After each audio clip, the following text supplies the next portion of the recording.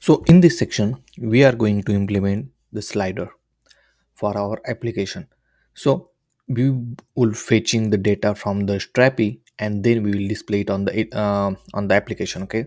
So first of all, uh, we need to add the content, uh, the slider information into the Strapi. So before that, we will add the uh, slider content and then we will add the data into that one. Okay. So let's go back to our uh, Strapi dashboard, right?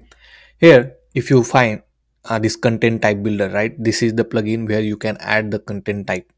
So let's create a new content type, uh, which is called a collection for our slider. So just type the uh, name. I will give the slider. So I will keep everything as it is. Okay. Uh, we have advanced setting as well, but uh, I will keep everything as it is and create. Uh, just go to the next, right? Here uh, it will ask you to select a field for your collection type. So we have different different options like text email password images a lot of things right? So in this case i will say select first text and i will say name of the slider okay? Uh, then you have option whether this short text or long text okay? Or do you want to make it required field? It's up to you okay? I will keep for now as it is and then i will uh, also add a, another field and which is a media where uh, user should able to upload not user but admin should be able to upload the image right? So i will say image okay? And uh, we have option multiple media or single media. So we want to show only single media. So i will select single media. And in advanced setting i will make sure that it is a required field okay? And if you see right we have different different option. So right now it's selecting all but we can only add images uh, as a media type right? It's up to you. And i will keep as everything as it is click finish right? Once you are done with this one just uh, click on this save button. So it will create the collection type of uh, for our slider. So that now we can add the slider as much as slider we want from our content manager. So right now it's restarting the application because we just added the new uh, collection right? So we'll wait A few minutes later. now once our application restarted right you will see the slider is everything added right? Now you can add it later if you want to anything right? For for now for this section we just want this name and image right? Now go to the content manager.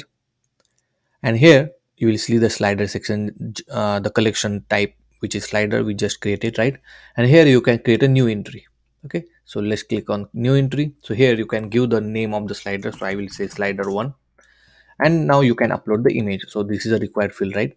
So you can upload new image or you can have existing image which you can upload right, now i have existing image so i will select that one. And just click on finish okay? And just click save.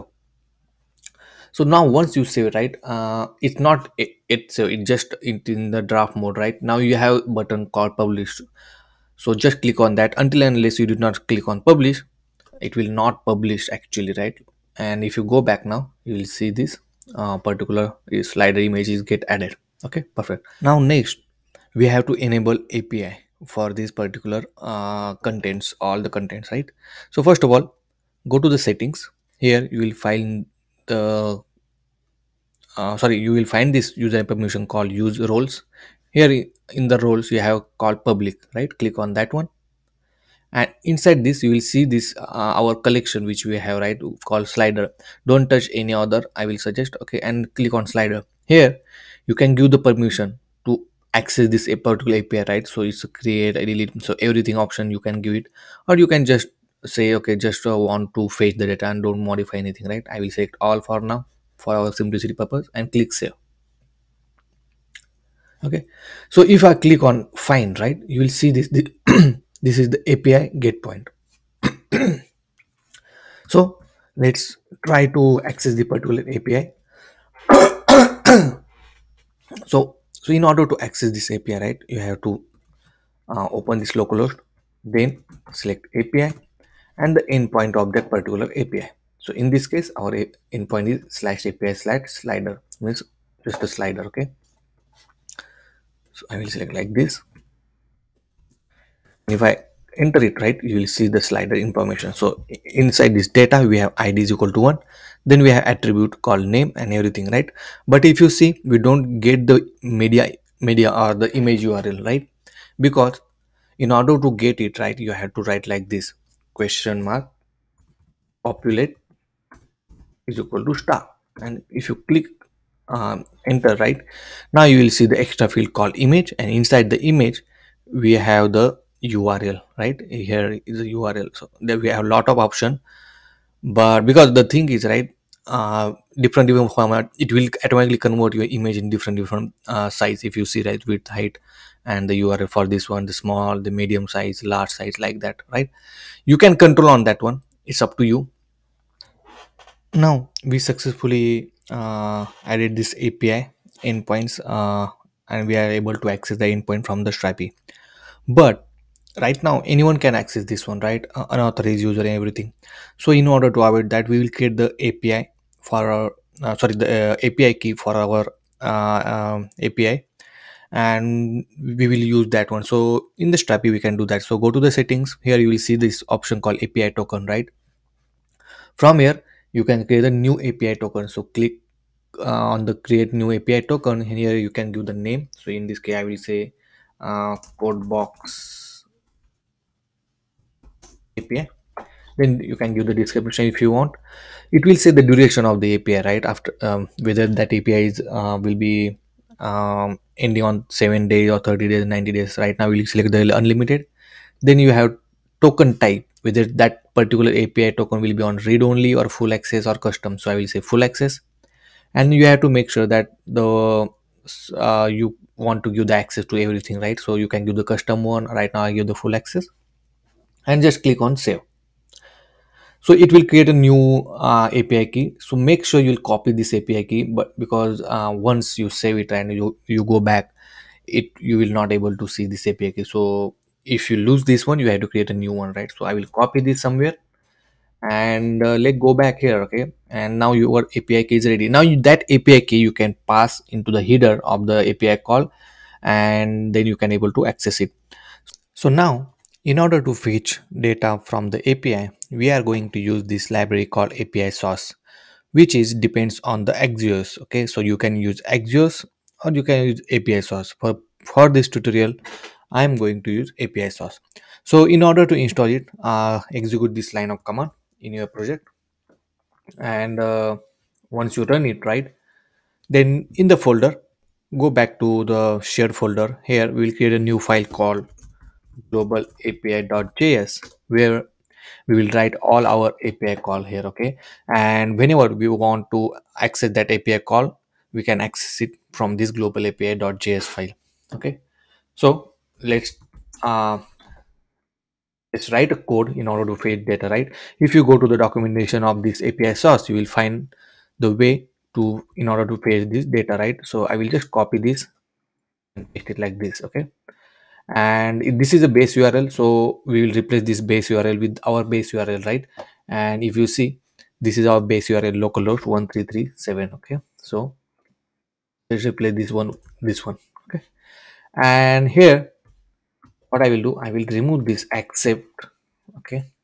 And here we will add the api uh, key okay? So in order to add api key we have to pass the api key like this and the key okay?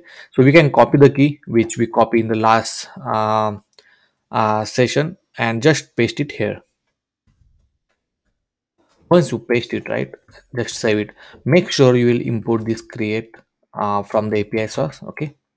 Now in order to write the api call right for example let's write a um, endpoint call to fetch the uh, slider data right? So i will say uh, get slider is equal to right? and here we can pass api so it has a lot of different method. Call we have get we have post okay? We have uh, update a lot of things okay? Put so in this case we want to fetch data. So just write api.get and here we will pass the uh, url right? Means the endpoint. So just api uh, the endpoint in this case the endpoint is the sliders okay? That they this complete um, slider question mark populate. So like this okay? And save it. Now in order to make it uh, eligible to access anywhere in the application right? Make sure you have uh, you will export this particular uh, endpoints uh, method right? So just write like this. So in in the export dot export default you have to make sure you'll export this create slider uh, and save it now let's go back to our home.js and where we will call our um, this particular api right? So go to the pages in the home.js so what i will do i will write method get slider okay? And uh, here this is this will be a await function async sorry this is a async function okay? And in constant result is equal to global api so we are accessing the, our in a api call from the global api dot.